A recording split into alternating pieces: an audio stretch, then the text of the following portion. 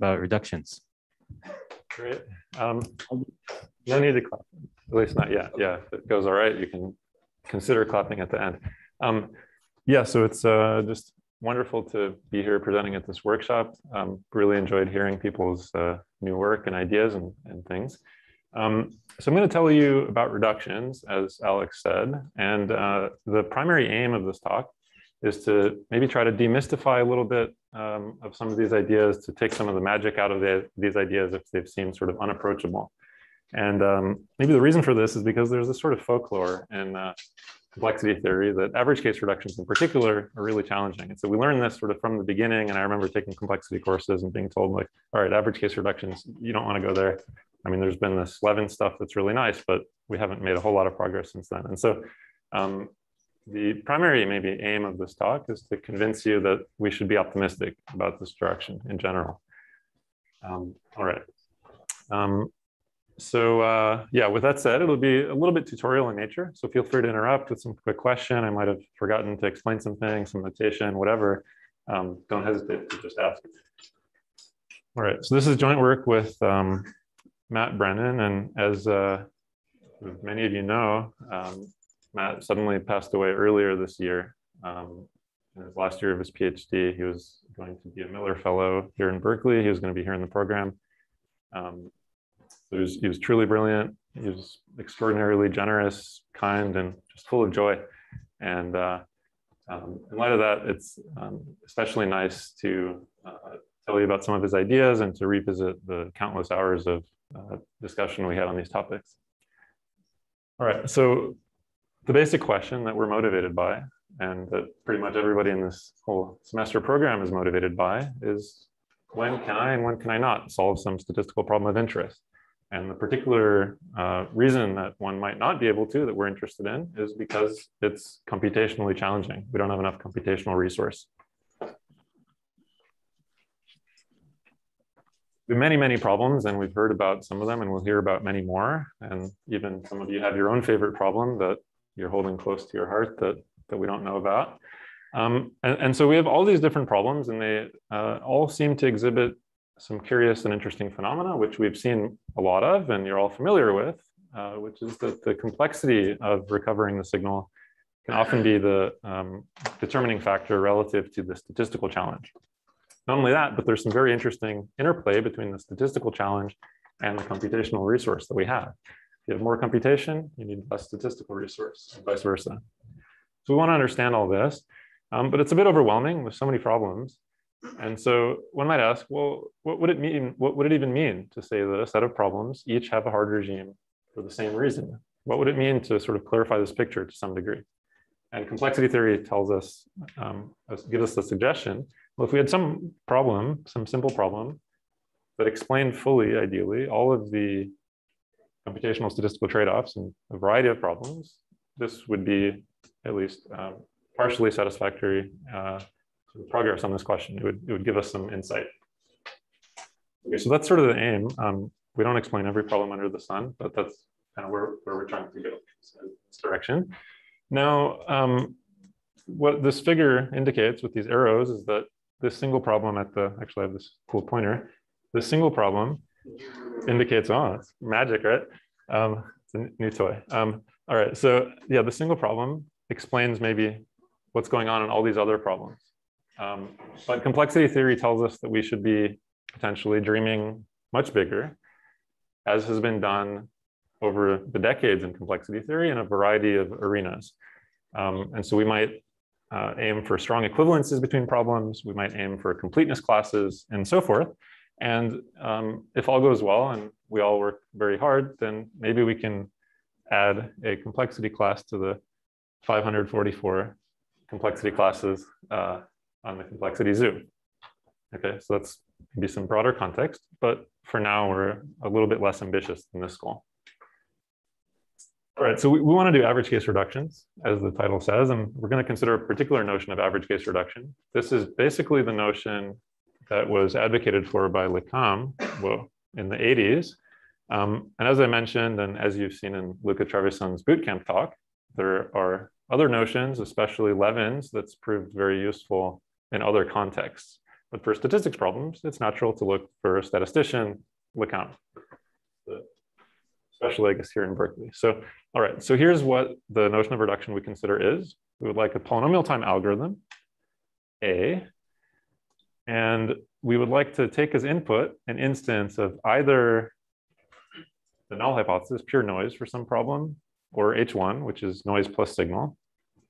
Of this is your sort of starting problem, and you'd like to map it to some other problem, P prime, where the algorithm A has no idea whether you're observing pure noise or signal plus noise, and in either case, it does the right thing. So in either case, it maps the pure noise to the pure noise under P prime, and it maps the signal plus noise to the signal plus noise under P prime. Why is this such a good thing?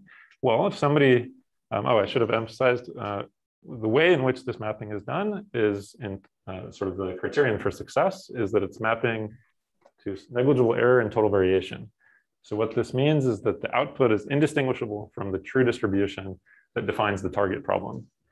Okay, and so this little of one here indicates that the total variation between the output of your map and the thing that you're trying to map to, P prime, is little of one in total variation. Okay. Okay, so why is this good? Well, if somebody claims to have some algorithm that solves the target problem, then that's a delightful situation for you who wishes to solve the source problem. Because now if you're given some instance of the source problem, you don't know which one, well, you map to the target problem, the algorithm solves the target problem, and you've thereby solved the source problem. If the algorithm runs in polynomial time and the, the claimed, sorry, yeah, the algorithm runs in polynomial time and the reduction runs in polynomial time, then their composition is an algorithm for the source problem that runs in polynomial time. All right, now why total variation? The reason is that it transfers the type one plus type two error of this algorithm here to the new algorithm for the source problem. Okay. Um, good.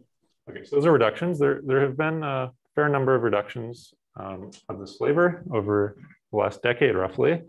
Um, apologies if I've missed your your paper here. Please email me and let me know. I, I prefer not to miss people's papers, so I won't be I won't take it personally. Just, yeah, please email me if, if I forgot your paper.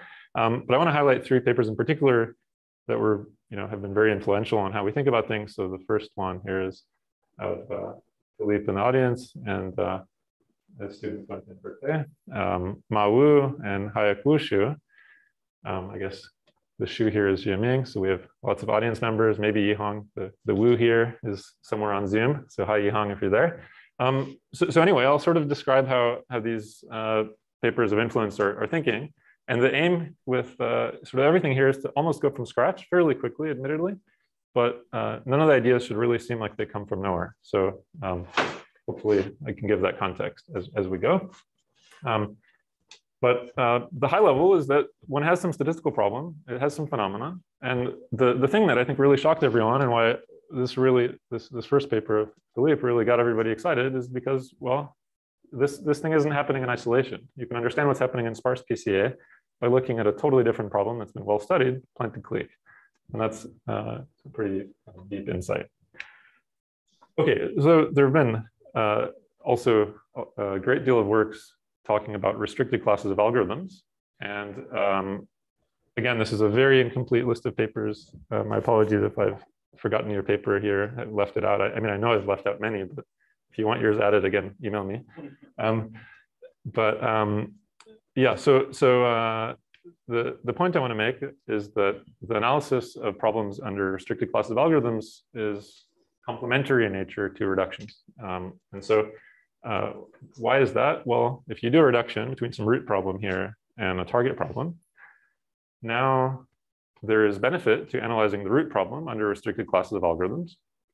And um, if, you know, for instance, one shows hardness based on restricted classes of algorithms, let's say an SOS lower bound or low degree, concluding that the root problem is hard, well, one concludes that the target problem is hard. And if there are reductions to many problems, one concludes that all of those are hard in the appropriate regimes. Right. So obviously, um, you know, reductions kind of amplify the power of the restricted classes of algorithms approach. Yes, please.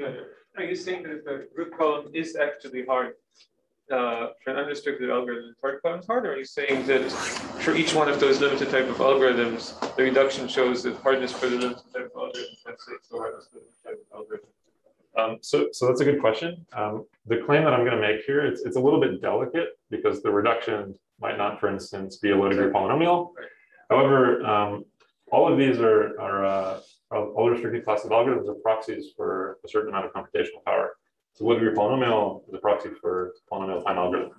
And so you would want to conclude that you know, if, if the you know, root problem is, is hard, these are all giving evidence for it not being solved in polynomial time, let's say, or requiring you know two, two to the end time or whatever.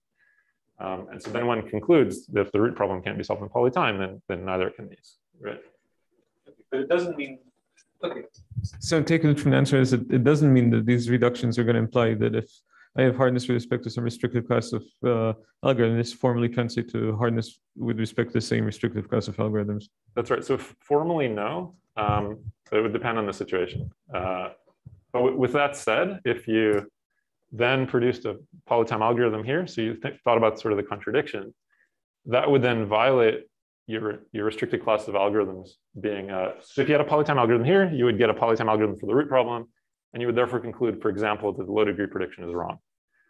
Okay, so. Well, you can do polytime even though you can do low degree. That's right, that's right. Okay, so hopefully that's clear. All right, so um, I'll just quickly sort of maybe elaborate a bit on this connection between uh, restricted classes and reductions. Um, so, you know, obviously reductions are future proof. The reduction is just there, it connects the problems. And if we have some new, better class of algorithms, then we can analyze the root problem uh, against those as well and include things for the target problems as we've just discussed. Okay. Um, and uh, yeah, I mean, okay, this is maybe just sort of a restatement. Um, good. So maybe, yeah, I won't dwell on this point, um, except for, uh, you know, it might be more subtle, maybe I'll mention, aside from just polynomial time or not. Um, so for instance, uh, and Alex's paper showing that uh, planted submatrix or planted dense subgraph is hard for recovery um, is really interesting because, well, it's interesting in its own right, but it also has additional implications because uh, we have some reductions that are based on recovery being hard for this source problem. And so then one immediately concludes um, sort of even stronger statement about the target problems from the results. So they really do kind of go hand in hand and, and play well together. Okay, so reductions are, are what we're talking about. And that's what we want to do. Um, the sort of demoralizing thing about reductions uh, that, that we were faced with was that the vast majority of them relate problems that look like some submatrix signal plus noise with planted clique. And uh, you know, superficially, these look kind of the same. And so uh, if you're sort of ambitious about doing reductions to a wide variety of problems, um, unclear uh, if this can be overcome, this challenge. So you know, we were extremely motivated to understand, can we map from planted clique to a variety of problems with very different structures than planted clique, very different from planted submatrix plus independent noise.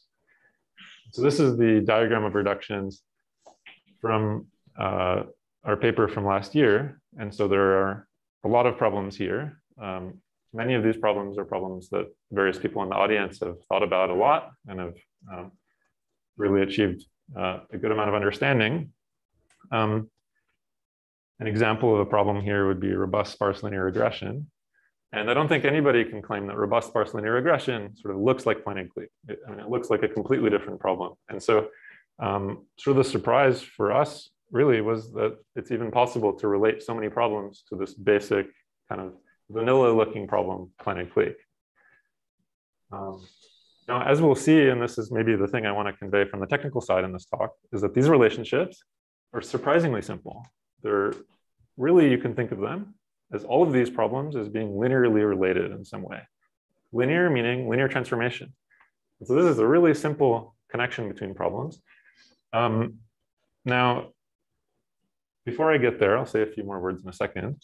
Um, there are these source problems. So one of them is, uh, go back here. One of them is um, K-partite hypergraph planted clique. So this isn't actually exactly the normal planted clique that you're familiar with. It's a variant.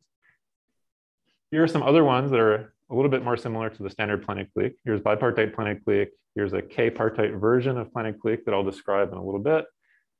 And you can combine these various uh, variants of planted clique. So K part bipartite planted clique. The main point is that K partite hypergraph planted clique is the strongest assumption, assuming that that's hard is the strongest assumption and implies all of these others.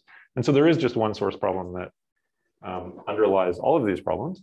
Um, another remark is that one can sort of unify these different versions of planted clique under a single version that's called secret leakage planted clique in our paper. And in a nutshell, and I'll describe it a bit, but in a nutshell, it just assumes a different prior over the clique position. So instead of being uniform, it's something else. Okay, so there's two key ideas that the, this is the, the aim to convey. Uh, one of them is if one squints at all these problems, squints uh, you know, fairly intensely, but, but nevertheless, just, just squints at these problems, um, then these problems are related via linear transformations.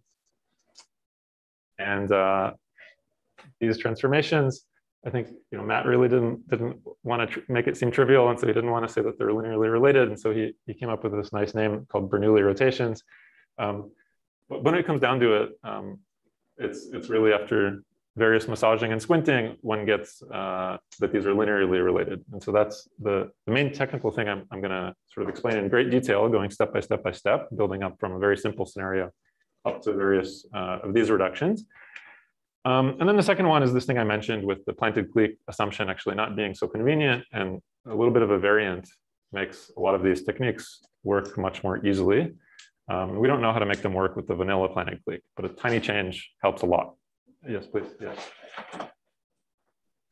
So maybe you'll get to this um, later, but if these were genuinely linear transformations, then it seems like uh, you could pass through low degree lower bounds, SOS lower bounds, and stuff through these reductions. So is there some, I don't know, does that seem it seems very doable. Or... Absolutely, yeah. So the, yeah, it, it, seems absolutely doable in my opinion. But it, again, these things have to be checked very carefully. So, so you'll check that the, these transformations involve a, a, critical linear part and various other things that are um, are are here. And maybe this is this asterisk of of if one squints, um, one requires various techniques for uh, algorithmic change of measure. So when changing of distributions from say Bernoulli to Gaussian, but others, Bernoulli to Poisson, various other distributional changes, um, filling in missing entries in matrices, going from symmetric matrices or tensors to asymmetric ones, and all sorts of things of this nature, which one would have to do a little bit of thinking whether one can implement all of those as low degree. I suspect yes. Um, but for instance, with this change of measure thing, I mean, one would have to do some argument to argue that you know you can truncate some polynomial and it doesn't induce too much of a loss. Good question. Yeah, yeah. All right. Okay, so I'm not going to talk at all actually about all of these uh, these gadgets and tricks. These are sort of probabilistic gadgets, very different in flavor from the sort of gadgets that people are used to in complexity theory. Um, but I'm not really going to talk about those. Um, and uh, the, the reason is because um, they're sort of what makes this all look so fuzzy and murky. And I want to explain how it's actually a fairly clear picture of what's going on. But if you're interested, I'd love to talk with you about these, these tricks and things because they're important. Otherwise, nothing else you know, can actually be made to work. Okay, so here's the plan. Uh, we're going to warm up by talking about Gaussianization of Bernoullis, a, a technique called Gaussian cloning, and then a sort of strengthening called reflection cloning. We'll talk then about Bernoulli rotations, which is this uh, linearly relating thing that I mentioned, which is actually a generalization of reflection cloning. So that's why it's going to be worth going through this whole sequence. And then we can apply to um, a bunch of problems of interest. We'll start with robust sparse mean estimation.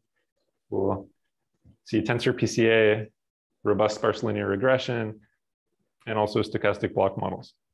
I know many of you, um, especially in the European side of things, are very interested in stochastic block models. So um, I might swap the order between uh, the sparse linear regression and stochastic block models. Okay, so uh, we start with our warm-up. Um, here's planted clique. As you're all familiar with, we're going to be considering sort of hypothesis testing formulations for everything in this talk, I should have mentioned. Um, but uh, you know, most of what we say works for uh, transferring estimation problems as well. But, but yeah, hypothesis uh, testing. So uh, detect is there a clique or, or no clique of size k in the Erdős-Rényi random graph. Um, you're all familiar with the thresholds. For us, we care that there is no algorithm known that succeeds when the clique is smaller than root n. And there's considerable evidence for this via restricted classes of algorithms, including by many of the folks in this room. All right, so it's going to be uh, convenient for us. I, I, mentioned the secret leakage, so I'll just quickly mention the, the simplest uh, variant of secret leakage, uh, planted clique. And so secret leakage is just that you know something about its position, therefore its position is no longer uniform. Okay, and so here's the particular way we're going to constrain the position of the clique. We're going to have a, uh, a partition into k parts. So here's each you know, part. There's n over k vertices in each partition. And we have the constraint that there is one clique vertex per partition. Okay, now if you think about this, you should ask yourself, I mean, is this a mild constraint or a severe constraint on the position of the clique? And you might convince yourself that it's fairly mild. And the reason is because, well, if you just choose k vertices at random, the vast majority of them will live on their own within one of these partitions. Okay, so it's a mild constraint. It doesn't reduce the entropy of the clique position very much. Okay, so this is the sort of constraint that is going to be useful. And uh, well, the conjecture is that this is such a mild constraint that it doesn't change the threshold for hardness relative to ordinary planted clique. Okay. Um, as I said, you can generalize this to think about other priors over the clique position. And um, the natural thing to do is to analyze where does the threshold occur based on low degree polynomial prediction or statistical query. And one can arrive at a prediction that's for general distributions rho, which has to do with if you sample two independent clique positions according to rho, this is the prior, and then one looks at the probability mass function of the cardinality of their intersection, there's a condition on the rate of decay of that probability mass function. Okay, and this is unimportant for us um, in, in, this talk, but the point is just that um, one can analyze this slightly more general starting assumption and you know move on from there.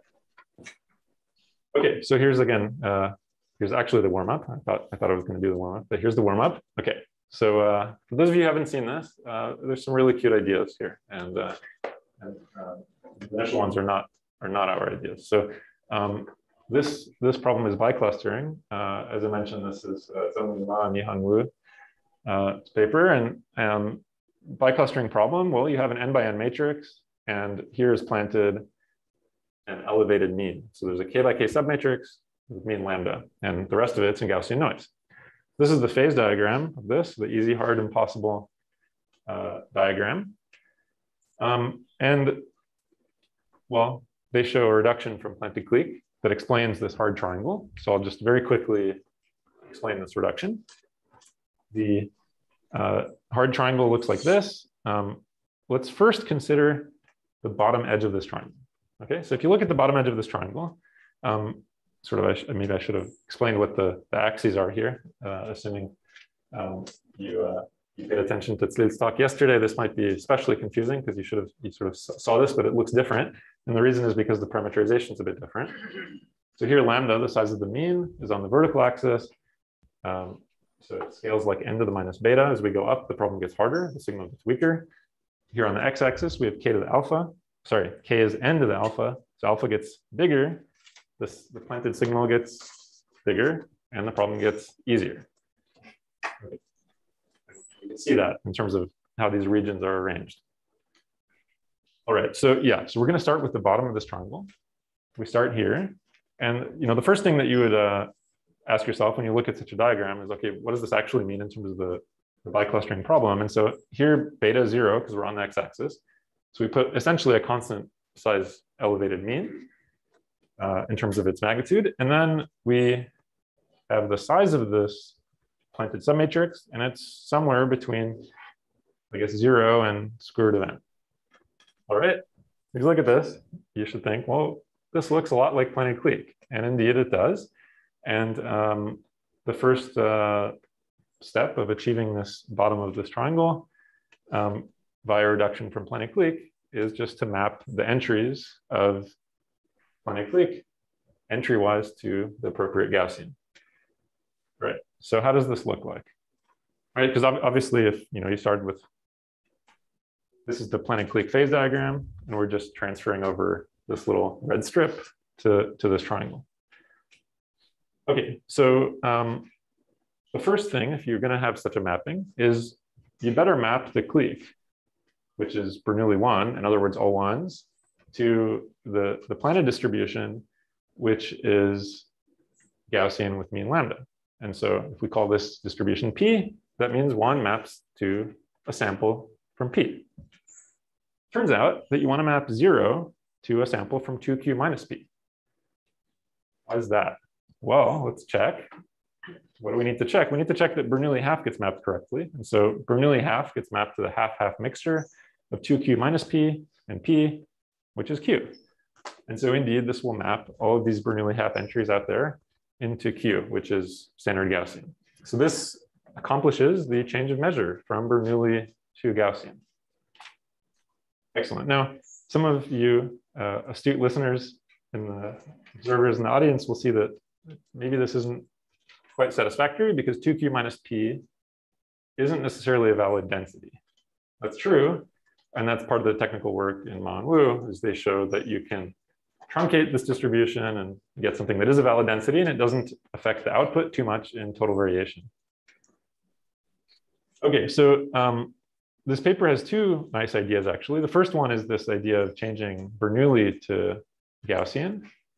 Obviously, just to reiterate, the reason why this is non-trivial is because you have no idea when you're observing an entry that's one or an entry that's Bernoulli half. And you, you need to apply a Markov kernel or randomized mapping to get an appropriate output that actually maps each of these to each of those, right? Okay, so this is this really nice idea. And uh, actually, they have another really nice idea, which is um, that they show how to change the size of the planted structure while appropriately trading off with the signal strength. And that's in order to achieve the other triangle, other edge of the triangle. And um, it's going to seem fairly simple in this context, but we'll quickly build up to a much more uh, general version of, of the same high level concept. Okay, so um, the idea is that we're starting down here, right? So constant lambda essentially, or you know, slightly uh, decaying lambda. And we want to move along this edge of the triangle. So we need to grow k because we're moving to the right, and we need to decrease the signal. But we can't decrease it too much. Obviously, if we were to move at the wrong angle, we'd just not be tight against the algorithms, which is where the screen region is. And this turns out to be, this line is that lambda k squared over n is constant. Okay, so here's the, uh, the sort of reduction that, that Ma and Wu came up with. It's a simple idea and it turns out to work. So what they do is they start with two by two blocks. So it's four entries of the matrix and they average them. Okay. What does that do? Well, we end up with a matrix that's half the dimensions. So it's, you know, n goes to n over two. Now, with high probability, you're only going to get one of the planted entries in each of your two by two blocks. So k actually stays the same because you're not decreasing the size typically. So k stays the same here. What happened to lambda? Well, we need to retain the fact that the variance was one. So we're normalizing by two uh, because we're adding up four entries. And so lambda goes to lambda over two. We can check what this does to uh, scaling. So lambda k squared over n goes to lambda over 2, k squared over n over 2. So indeed, it maintains that constant value and it's moving along this, this trajectory. Does this make sense for everyone? Okay. Turns out that there's a completely different way of doing this. And this other way is what generalizes in a nice way. Okay, so we came up with this way of doing things in uh, this 2018 paper. Um, but it's actually based on a very simple idea um, which uh, statisticians might call Gaussian sample splitting or Gaussian cloning. Um, I think Philippe first told me about this um, a long time ago, and I was, I was very excited to learn about this uh, sort of almost trivial fact that's uh, surprisingly useful. So here's the idea. You're given as a input to this little mini subroutine, a Gaussian with mean lambda. Okay, so lambda can be this planted lambda in the problem. You could also think of lambda as zero, doesn't matter. The output is going to be two independent copies of a Gaussian, still with variance one, but lambda has now decreased. And you have to pay something, right? If you're going to have two instead of one, you can't get it for free. So the signal strength decreases a bit. So how does one do this? I mean, you already know how to do this. People don't know how to do this. So this, this is, a, I mean, this is actually a little bit surprising, that, you know, because you're sort of creating more of something. You're creating more signal somehow, even though the signal went down, right? So it's doing something interesting. Okay, so here's the the way to do this. So let Wait, the, Z- the point is the map, but the mapping has to be deterministic. Is that, are you, No, or it's no. oblivious to lambda? sorry, It's oblivious to lambda. it's oblivious to lambda. Okay. Oblivious to lambda. Perfect. Yeah. Otherwise, I can just make some new samples, you know. Otherwise, you can do all sorts of things. Yeah. Yeah. Yeah, okay. exactly. Yeah. That's right. Okay. So so we're gonna sample a fresh standard Gaussian independently of x. And uh, sorry, this is a little small. We're gonna hit this uh, pair of Gaussians now with this orthogonal matrix. And uh, of course, by linearity of uh, sort of the Gaussian and linearity of applying a linear transformation, you have here the same matrix times the mean vector, and then the, the matrix times pair of standard Gaussians. Now, this is, as I said, an orthogonal matrix. We know that isotropic Gaussians are orthogonally invariant. And so this remains isotropic Gaussian. We see what happens here on the mean vector. Well, just the left column, it's lambda, and you have the normalization 1 over root 2. And so this is now the output, and we're done. Okay, so this is just orthogonal invariance of the Gaussian distribution. Very simple. Um, now, there is something that's a, a bit conceptually funny here, which is that it's doing sort of the opposite of what Ma-Wu did. Instead of shrinking things, it's like blowing things up. But it turns out to accomplish the, the same trade-off. And so we can see that quickly. So we take a single entry here. Um, we turn it into four. Lambda goes to lambda over two because we went from one to four instead of one to two, like on the prior slide. K goes from To 2K now because the planted thing got doubled in, in, in size. Um, and so we can just check what happens. We have lambda k squared over n. Here we have lambda over 2, 2k squared over 2n. And uh, the, the k's, or sorry, the, the factors of 2 cancel, and we've indeed moved along this axis of the triangle, along, along this edge. Okay. Excellent. So any, any questions on this biclustering? So this is Ma and Wu's, Ma and Wu's stuff. Uh, very nice um, idea. So, uh, you know, we might think beyond biclustering. Well, a natural problem, and it's already shown up today multiple times, is uh, rank one submatrix. So we now have a rank one spike here, and it's still living in, in a Gaussian uh, matrix. You might ask, well, has anything changed? Are the thresholds different for this problem? Does the phase diagram look different? Okay, so here's the phase diagram of biclustering. Now, what's changed here, and this is an example of rank one matrix, is obviously that some of the entries are negative. And uh, this uh, whole easy regime is obtained by adding up the entire matrix and comparing to a threshold. And so that trivial algorithm no longer works for rank one submatrix, where some of the entries in the planted thing are negative. And indeed, the, the uh, phase diagram changes to the, even for the detection problem, changes for the, to the recovery diagram for biclustering. But anyway, this is, this is now the, the diagram. And you know, this bottom edge of the triangle can be achieved in the same way. And we just need to figure out how to move from this point, which means constant lambda and root n size planted thing, up, up and right. So how does one do that? Well, obviously we need to increase k, and the signal shouldn't decrease as much because its slope went down. How can we increase k without losing as much signal? Well, let's think about what we did. Well, we, we did this cloning by drawing an independent Gaussian z. So we're all this uh, exogenous noise, and we're injecting it into the problem in order to transform things. If you pause and look at this for a bit, you, would say, well, wait a minute, this, this whole matrix is full of Gaussians. Can't I just reuse some of these Gaussians? Like, why don't why do I need these Gaussians from out there in the world to, to degrade my signal? Let's just reuse some of them. Okay, so that's that's what we do. So um, here's this technique. It's called reflection cloning. We start with this uh, biclustering. So this is all positive. These are all lambdas, as as here on, on this bottom axis. Uh, we make two copies of the of the entire matrix. Flip the bottom copy and multiply by negative one the, the entire matrix. And of course, Gaussian is uh, remains Gaussian. It's, it's symmetric about the origin. Red here indicates that it's negative. And uh, you now rescale slightly by root two to keep the variances one and you add them.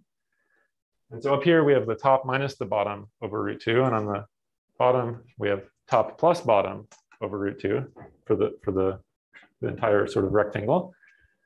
And if we just um, give these original pieces names, let's say X and Z, I should have put Z, I think above, above X, then you'll see that it's actually just the same exact orthogonal transformation applied to now sub blocks of the matrix instead of taking this exogenous noise. Okay. Okay, so now you can repeat this horizontally. And we now have these negative entries and positive entries. And it exactly looks now like a rank one submatrix, but it's not an instance of biclustering, which has everything positive. So this added freedom of having negative entries actually allowed us to do something different. Um, and you can check that, well, lambda went to lambda over two and k doubled and n stayed the same. And so um, it, it, indeed moved us along the correct trajectory. Oops. Okay. Can I just?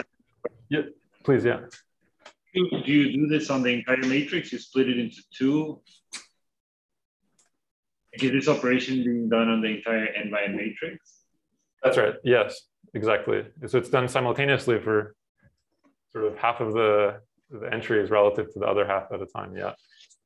And then it's repeated, I should say. I mean, this this only doubled things, right? So now if you actually want to move along this edge, you have to continue and you repeat this. Okay. A quick question in the audience here. Yeah.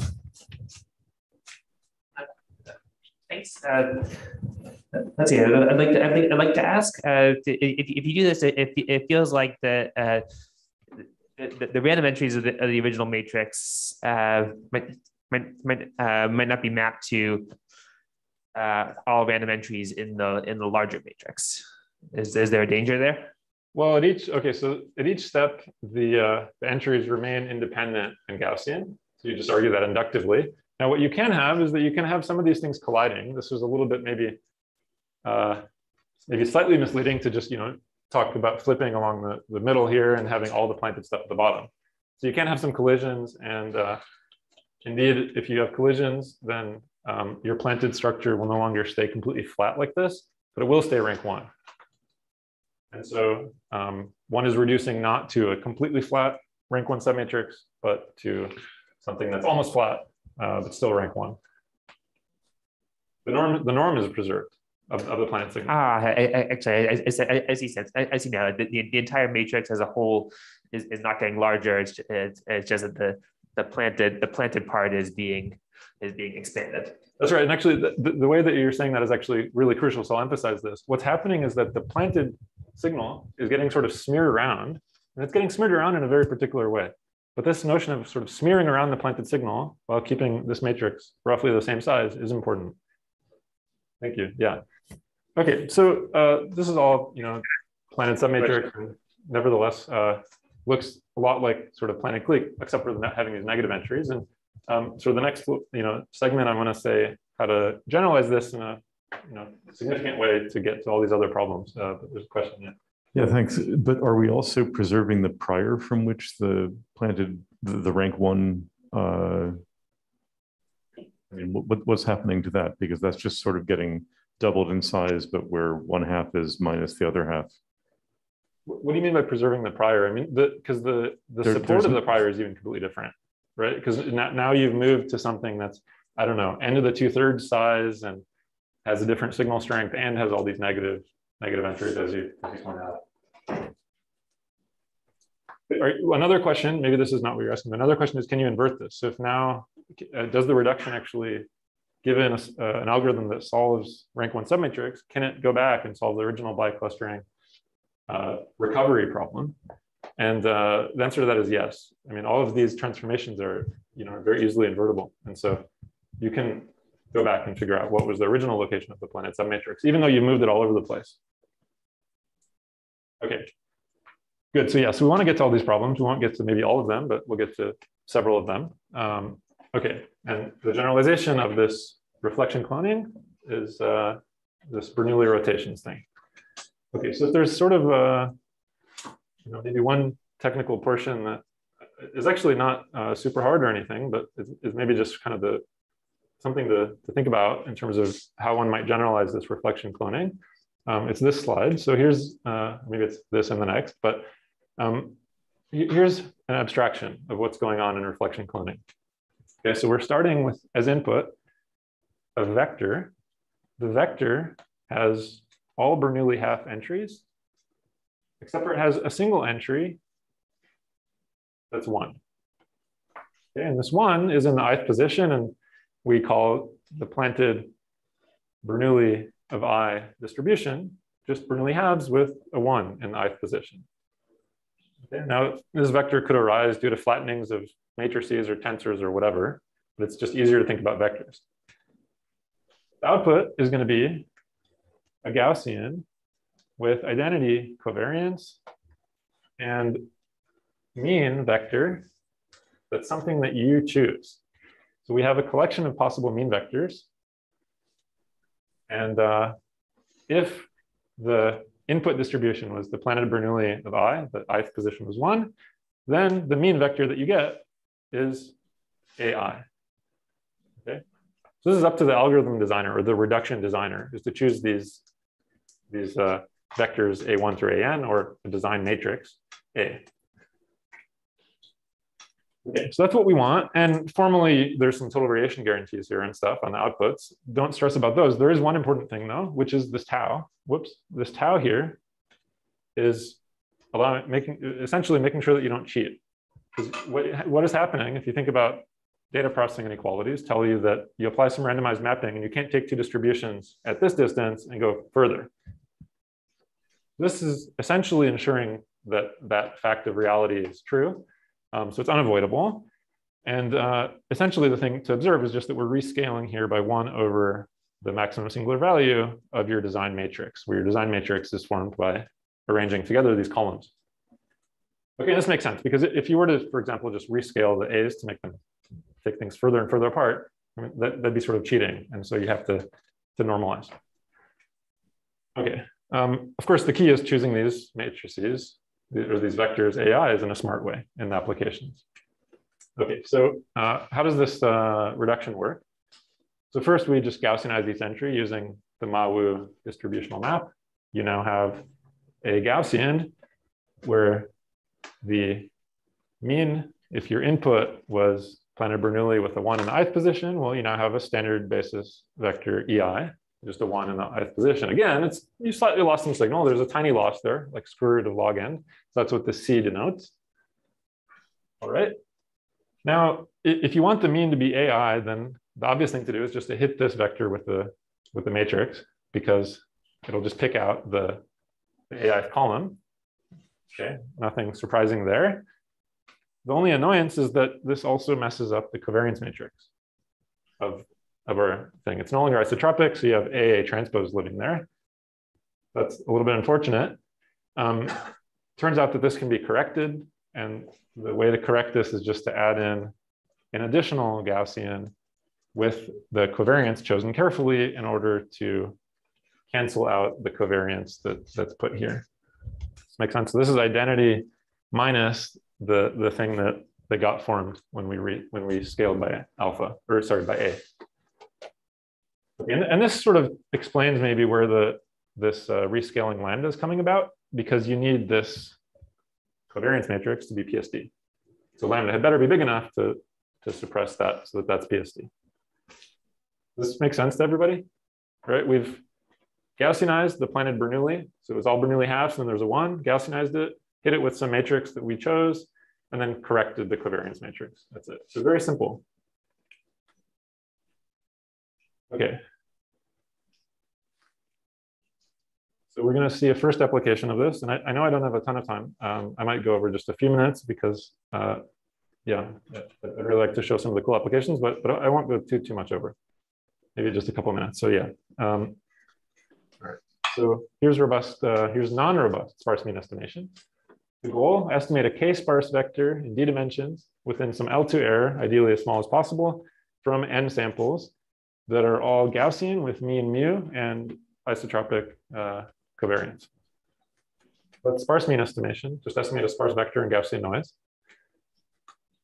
its uh, statistical limit and computational limit are both k log d over gamma squared, and there's a, of very easy estimator of just thresholding the empirical mean that achieves this.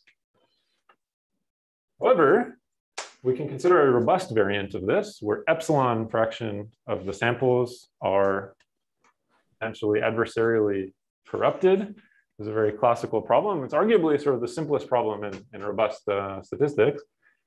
Um, and what happens if you allow this epsilon fraction to be corrupted is there suddenly is a different computational limit that's off by a factor of k from the statistical limit. Okay, so how does one achieve this? Well, there's a nice paper of Jerry Li and, and uh, uh, a group at CMU that shows how to achieve this computational number uh, using uh, some convex programming. I won't get into that for us, the interesting question is, well, why is there this computational limit? Um, and so we're going to consider a very specific instance of robust sparse mean estimation. So here, well, we're going to we're going to sample the corruptions IID from some outlier distribution. And we're going to choose a particular outlier distribution. And this is the outlier distribution suggested by Diakonikolas, Kane, and Stewart, and then analyzed under the statistical query model um, by these folks. And so um, sort of they, they understood what is the hard instance for robust sparse mean estimation. And so uh, we were inspired by them and we thought, okay, we should probably use this as our, um, as our distribution to reduce to, because it evidently seems to be the hard one. All right, so what is this distribution? Well, the, the mu here, the sparse mean vector, it's just gonna be flat, has value x on support s. The outlier distribution is going to be Gaussian and its mean is also flat on support X, uh, on support S, but has value minus Y. And Y is chosen so that the overall mixture has zero mean. Here's a cartoon of the, of the data matrix. We have our d dimensions, we have our n data samples. An epsilon fraction of the samples are corrupted, and so an epsilon fraction of these columns will be red because those are the ones that correspond to, to y. They're the outlier ones. The rest of them on support S, which S is just the these coordinates where there is a signal. Those are blue and value X. Okay, so this is a cartoon of the data matrix. Um, one of the things I wanted to, to convey, and, and uh, I think I'll convey it here and also in a couple of the examples because it'll be very quick to see, is that looking at these sorts of cartoons can just uh, really tell you how one should, should carry out these reductions. And so this is this cartoon. Um, we want to reduce from planted clique. So let's start with planted clique. Here in each block, there's going to be a single one because we're looking at the secret leakage, you know, k-partite version of planted clique. The reduction is just, well, apply the Bernoulli rotations to each row in each of these blocks. And one now gets Gaussian of some mean, where this is the corresponding column of our design matrix. Right. So now we, we have a Gaussian there and its mean is the column of our design matrix and you do this everywhere and one gets this matrix. And now we want to just compare it to our cartoon and that'll inspire us in choosing the design matrix. It'll tell us, can we actually carry out the reduction? Okay, so we just sort of pattern match there. We get, this should be our, our, you know, this is how our column should look like of our design matrix. It should look like this. What does that mean? Well, it should have an epsilon fraction of y's, the outliers, we should have a one minus epsilon fraction of x. And well, it needs to be an approximate isometry. Um, and that's due to the signal degradation that happens in the Bernoulli rotations. We just lose uh, some big factor. Okay, now I'll just make a, a, quick kind of abstract remark, which is that um, this A being an approximate isometry, and this connects to Aaron's question, is you can think of these uh, all these problems abstractly as there's some signal and it's in noise. And uh, what's happening here is we're kind of mapping the signal and the noise, and we're preserving the L2 norm of the signal. And, and so if you think about some class of spectral algorithms or something like this, and a problem where, where those algorithms are going to be tight against the algorithmic threshold, these transformations are preserving the signal strength. Um, so that's, that's why this approximate isometry condition is entering. It's because otherwise you're just not going to map tight against algorithms. Okay, so how in the world do you find such a matrix? Um, Okay, so just to start, let's uh, imagine that epsilon is half. So now we need a, a matrix where each row has a half of its entries some value and half of its en entries some other value. Um, and if we go back to our uh, reflection cloning, we, we see that um, actually maybe we, ha we have uh, an understanding of, of how to map to robust sparse mean estimation with epsilon as half. If you just repeated this over and over again, you'd completely fill in this. Of course, it's the transpose of, of the prior cartoon I drew, but you would see that you just have completely filled up the this sort of strip and with half of its values one and half of its values minus one. And so it would exactly be mapping to robust sparse mean estimation. Okay. Um, now, probably everybody here recognizes this as a dimension two Hadamard matrix. And um, kind of the correct way to think about this reflection cloning construction is actually is applying a Hadamard matrix, and you can do it all in one shot. You don't need to do it iteratively like this. So um, here are some Hadamard matrices, and uh, you can just kind of visually inspect it and convince yourself that roughly half of each row has value one and half has value minus one. Um, and we all know that Hadamard matrices are orthogonal. So it exactly satisfies this isometry condition. Okay, so Hadamard matrices solve uh, robust sparse mean estimation reduction specifically for epsilon is half. And so you might ask, okay, this is this is good, but but nobody's interested in robust estimation with half of the samples being disturbed by the adversary. And so what's going on? How does one generalize this? So this generalization is uh, is uh, quite elegant and and uh, um, yeah, it's something I guess that Matt realized just one day, kind of out of the blue. Um, and I, I, can explain it very quickly is what's going on in this generalization. So um, here's a four by four Hadamard matrix. And uh, it turns out that you can understand these Hadamard matrices in terms of the incidence geometry between hyperplanes and points in an appropriate um, vector space over finite field of appropriate dimension. So what do I mean? Well, here we have F2 squared, so length two elements of F2. Here on the left, we have hyperplanes in F2 squared. And we're gonna fill in a matrix with certain values depending on whether the corresponding point is in the corresponding hyperplane. The one if it is and minus one if it isn't. If you do this, then you can just visually inspect that this is exactly the bottom three rows of this Hadamard matrix. And so this gives an alternative way of constructing Hadamard matrices based on this incidence geometry of finite field uh, vector spaces. Okay, good. So far, I haven't said anything about how to generalize beyond epsilon is half. Um, but it turns out that if one takes the cardinality of your field to be R, and one in general looks at FR to the T, this is going to be the, the column indices or the points, R to the T points in this vector space. And on the left here, one considers the enumeration of hyperplanes plus all of their affine shifts. The affine shifts turn out to be critical for um, epsilon shrinking um, or for R growing. Um, and you fill in the entries one or one minus R, depending on the incidence. The point is in the hyper, hyperplane or it is not. Okay, so um, we can see various things immediately from here, namely that if you think about a given point, a given column, and we ask, well, how many of the affine hyperplanes is it in? Well, it's obviously in a fraction one over r, because there are shifts of any given hyperplane, and only one of them contains the point. These are hyperplanes of codimension one. That's right. Yeah, so there's hyperplanes of, of codimension one. Yeah, perfect question. Yeah, that's right. But in general, you could consider more complex constructions pairs of hyperplanes, codimension bigger than one, et cetera. Okay, so if we just go back to our uh, desiderata, what did we want this matrix A to satisfy?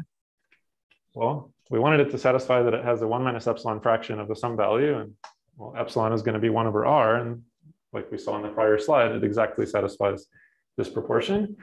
It also turns out that um, this construction gives an approximate isometry. It's not exactly an isometry, but it's very close.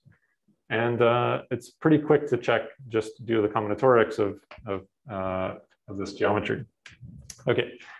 Um, okay, so unfortunately, I want oh, quite a bit slower than I wanted. Um, I do want to just show some, some pictures here. I guess there were a bunch of good questions, but yeah, I really want to show a few of the pictures for these reductions because that gives this flavor of, okay, so you just choose this matrix in some smart way, maybe even exactly the one that, that I already described for robust sparse mean estimation, and we get reductions to various other problems just by the, the cartoons of what's going on. Um, and so one can immediately see uh, at least some of these reductions. Okay, so tensor PCA I won't dwell on, um, but maybe I'll just accept to say that um, the same reflection cloning idea based on Hadamard matrices maps to sort of the canonical generative model for, for tensor PCA, where you have some rank one spike um, that's not at all sparse and has entries that are plus and minus one.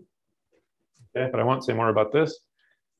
Um, okay, the nice picture for, uh, for those of us who care about stochastic block models is as follows. So I'm just gonna describe this one briefly and um, yeah, and then probably we'll stop. So, okay, so here's a K community stochastic block model. Let's take K as little over root n.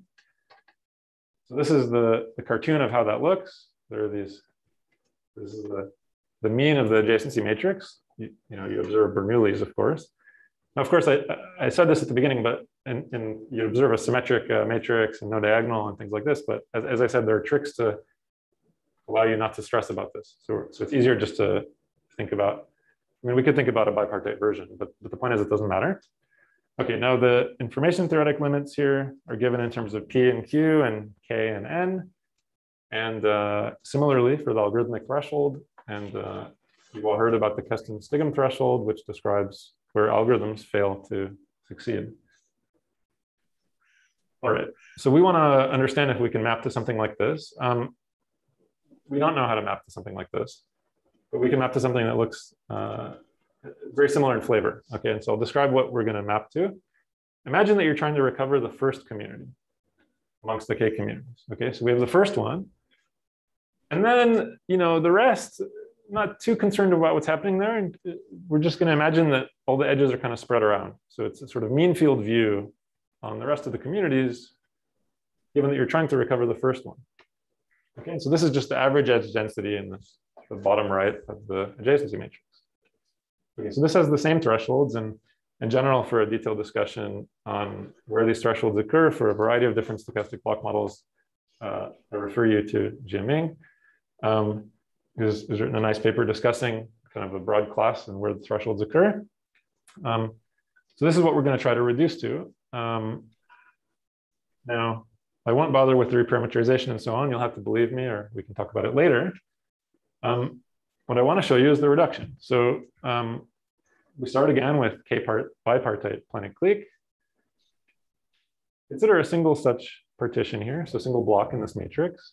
There's a single one. This is the outer product of some EI with EJ. I'll apply the same design matrix KRT that we got out of the construction with the incidence geometry between hyperplanes and points on both sides. What we get is the ith row and the, the jth row outer product. Pictorially, we know that there's a one over r fraction of value one minus r, roughly minus r, and ones. So it's proportional to this outer product, which when you write it out, has r squared here, minus r minus r, one. And if you remember, this is exactly how, on the larger scale, our sort of imbalanced two community stochastic block model look like. So if you kind of plop this down in each of these blocks, then you genuinely get the, the stochastic block model that I claimed that we would reduce to. And so this is exactly the same design matrix as worked for robust sparse mean estimation. And it achieves the, you know, it goes up to the Kesten-Stigum threshold. All right, so uh, I'm, I'm uh, a fair bit over, over time, so I won't tell you about robust sparse mean estimation, uh, sorry, robust sparse linear regression, even though um, it's my favorite reduction from this paper. Um, it's, it's, a bit unfortunate. Um, you know, uh, I mean, unless people really want, but then I'm just going to screw up the whole schedule for the whole day. So I, I can't be responsible for that. So yeah, we're not doing this. Um, I, I, will say that maybe the one, you know, 10 second thing to say about this is that uh, robust uh, sparse linear regression or mixtures of sparse linear regression is like very blatantly a uh, supervised learning problem. You're observing pairs X, Y. And uh, some of these other problems are unsupervised. And so one of the intriguing things here is this uh, tight link between unsupervised and supervised problems. I'm sure that, that on some level, you know, this link has been observed before. I mentioned this to Adam Klivans and he goes, yeah, yeah, of course, you condition on this thing and you get something. So um, I think people sort of know about this connection, but to make a, a tight computational connection between the two, um, I think is interesting. Um, and uh, yeah, I'd love to chat with people about about this reduction um, some other time. Um, and uh, there's many, many other reductions in this paper. Um, I invite you to look at them, and I'm happy, very happy to chat with people about them. Maybe just to conclude finally. So again, thanks for the, the 10 minutes over. Um, so maybe the high level is kind of twofold. One is that we have all these statistical problems and they have all these peculiarities, this distribution, that distribution, these funny planted structures. And the general aim is to try to understand them through simple combinatorial problems like planted clique or variants of them. Um, and maybe the surprise is that all of these are related in what is actually a fairly simple way, just linearity um, applied to the structure. Um, okay, so this really is just a, you know, uh, uh, just something to that should increase our optimism about this general direction. And there's a ridiculous amount of stuff to do in this in this general direction and reductions um, and surrounding stuff. And um, you know, very much hope people, uh, you know, people jump in into the fray. Um, so I'll, I'll end there. Thank you.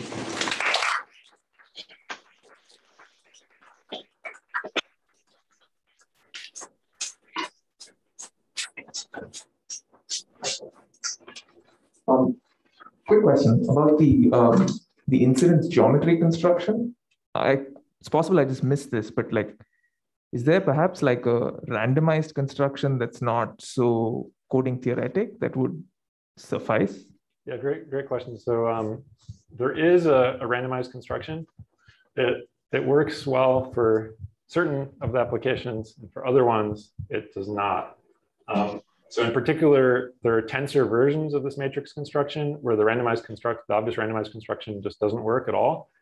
Um, if you do still care about this matrix construction, the randomized construction is in some of the applications almost as good, but certain things it doesn't do quite right. So for instance, it will change the size of, it'll, it'll sorry, it'll induce a random output size community, for instance, in the SBM. And here it maps to deterministically sized community. So if you care about those sorts of distinctions in the problem definition, does the algorithm have to be robust to not knowing the size of the community, things like this, then these, uh, based on combinatorial designs, are should be more effective. Yeah, that's a great question, and there, there are some alternatives. I have a question, if I may. It's a good time. Yeah. You, uh, I was wondering in the mapping for the stochastic block model, did you need the number of communities to be of the order square root of n? Or, or does that actually go through if you have very few communities, like five? It doesn't go through for any constant number of communities, um, but it, it's uh, the number of communities is little o of root n. So it can be, I, I think you want to think of it in our reduction as any polynomial n to the alpha for alpha less than half and greater than zero. So n to the one over 100 is fine. In particular, so I don't know where this where this is exactly, but R here, this is one over R, and so this is R is the number of communities. And so we do need R to be growing a little bit, but it can grow slowly. So what is kind of the challenge for the constant R? Uh, maybe this is a this is a great question. I think it's a generic challenge actually for all of these reductions. And so, you know, one of the maybe philosophical points that's worth making about these reductions is that all of them are between parameterized problems. So there are all these parameters like signal to noise ratio parameters, but also here number of communities and things like this. And part of what makes these reductions possible is that they all lose just a little bit in the parameters. So typically it's like some log factor or square root of log or something. So it's not egregious, but sort of nothing is sharp up to constants, I would say. And so that's maybe the high level of why that's challenging. Mm -hmm. Thank you. Great. Okay, one more question here.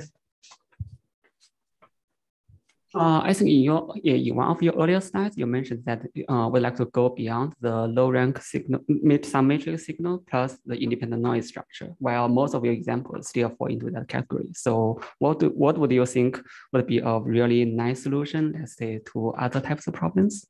Okay, good. Yeah. So, so I guess that's the yeah. That's, uh, the question is well, all everything that you're doing is low rank plus plus uh, sparse sparse low rank plus noise or something. But um, I think it's kind of in the eye of the beholder. It, you make a good point. I mean, you know, especially in retrospect, you look at these and they're reductions, and you say, okay, well, you did reductions. These must not be that different.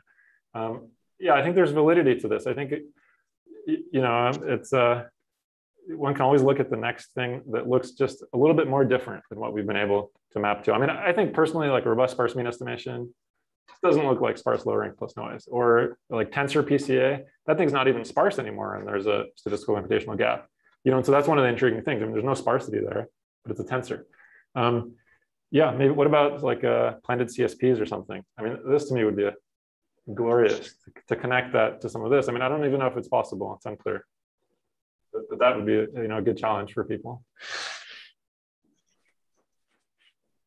Does the sparse SLR stuff naturally generalize if you have like sparse GLM or the link? There's a nonlinear link function, but within that you can have linear.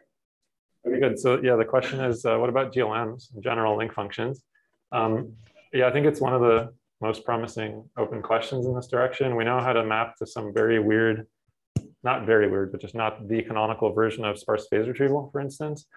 Um, but for general GLMs, uh, yeah, we actually worked on it. We have some ideas, but um, it's, it's something I'm happy to discuss. Yeah. Great. Uh, so since we're a bit behind schedule, maybe we should take a break now.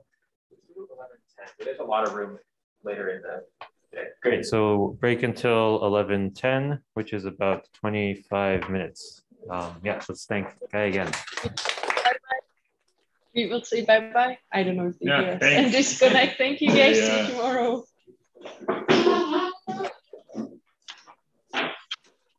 Yeah, so this is. Uh,